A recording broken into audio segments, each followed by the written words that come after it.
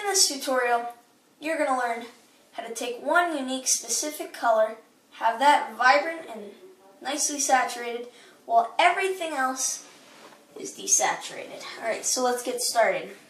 So, now what we're going to do is, as you can see, we just have a regular photo, non-edited. What we want to do here is take this red, first of all, make it vibrant, and uh, bring up the saturation just a little bit. That way it already pops out.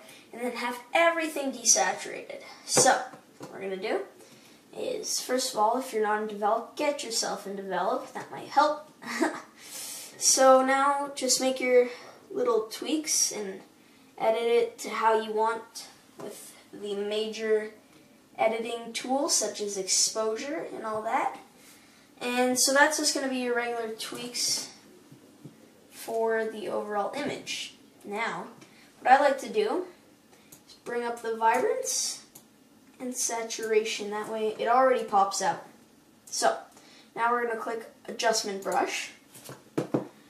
And so everything should be set at zero, which is exactly what you want. And now all you need to do is that. Wasn't that easy? Yeah, that's right. You just bring it to minus 100.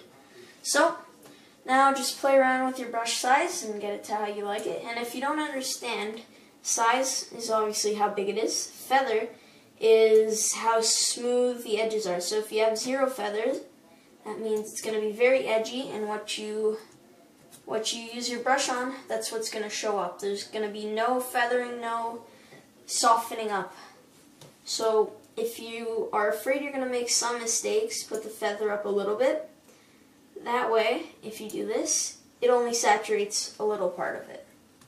That way it's not a huge mistake. And density, you need to put that all the way to 100. Otherwise, it's almost like opacity. If you have it at 50, only 50% of the desaturation is going to happen. So put it to 100. Now what we're going to do is just paint around it. Well, around the part that you want saturated, that is. And now what that's doing is desaturating everything else.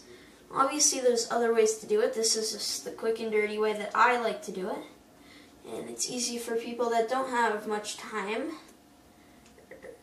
on their hands to edit photos, especially when you have a lot from uh, from vacation.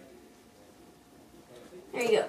And if you want to get the small details like right there, now we're going to put the size down and go like that.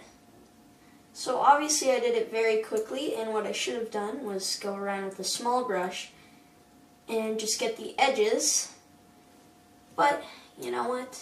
It's just a tutorial and hopefully you can do it better. So that's what the final image is going to be and then you can always tweak it. Like let's say you want a little bit of saturation. You can just do that. Want the clarity up to make it look like it's almost I don't know, sketched or, or using film. That works too. And there you have it. Sometimes sharpness also does that too. And there you go. Those are a few quick tips and uh, that's my tutorial on how to use selective color in Lightroom. Hey, glad you enjoyed the video. Please subscribe and stay tuned for more great tutorials like this one. Edits, speed arts, you name it. It's coming your way. Vicious Edits, VE. Over now.